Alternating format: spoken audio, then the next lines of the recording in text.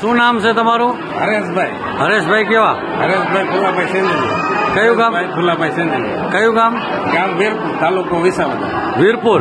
કેટલા રૂપિયા છે પચાસ હજાર. પચાસ હજાર લાવો દીકરી કેટલી છે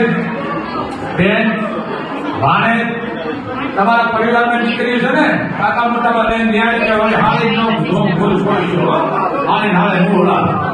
આ એકાવન હજાર મોબાઈલ એકસો ને એકાવન વાળે શીખાડી માનતા તમારા દીકરી બોલ મોગલ માતની જય